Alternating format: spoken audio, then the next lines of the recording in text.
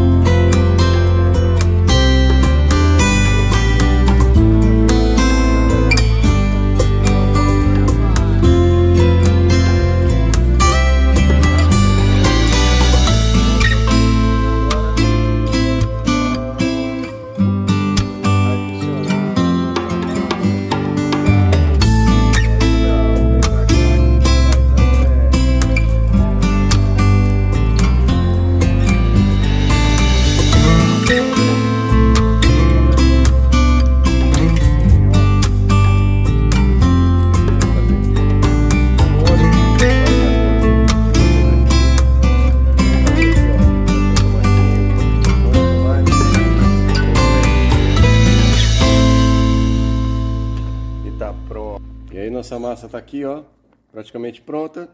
E aquele pedacinho que a gente guardou, a gente vai fritar no óleo. E aí, a massa que a gente separou, ela é frita.